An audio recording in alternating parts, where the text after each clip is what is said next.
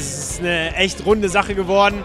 Emotionen und Fußball zum Anfassen, genau für die Zielgruppe. Das ist, muss ich wirklich sagen, einzigartig in Deutschland. Das ist bei keinem Verein so. Richtig klasse, von den Fachhandwerkern selber initiiert. Und wir haben das aufgegriffen, ist eine riesen Erfolgsgeschichte geworden. Ganz viele Unternehmer haben gesagt, wir machen das, wir nehmen Tickets und wir nehmen dann auch mal einen guten Kunden mit oder einen verdienten Mitarbeiter. Wir haben das ja begonnen zu einer Zeit, wo wir sportlich noch nicht so durchgestartet waren und äh, haben eigentlich sehr schnell gemerkt, dass der Ansatz, dass wir mit Handwerkern selber das Produkt entwickelt haben, eigentlich genau der richtige war. Und mit Wolf haben wir natürlich einen tollen Partner gefunden, der jetzt auch der Namensgeber ist und jetzt nimmt das Ding richtig Fahrt auf. Ich denke, die Fortuna äh, vertritt Werte, die eigentlich sehr gut auch zu unseren Werten passen. Das ist ehrlich, bodenständig, aber hohe Qualität. Man darf das nicht laut sagen, aber hier werden die Geschäfte gemacht. Ne? Wenn Unternehmer zusammenkommen, dann spricht man auch über das Geschäft und da entstehen viele gute gemeinsame Ideen. Wir müssen natürlich an der Stelle auch die Live danken, dass wir diese Möglichkeit hier haben, einen neuen Bereich zu schaffen. Das ist auch das erste Mal, dass Fortuna Düsseldorf hier einen neuen Bereich geschafft hat.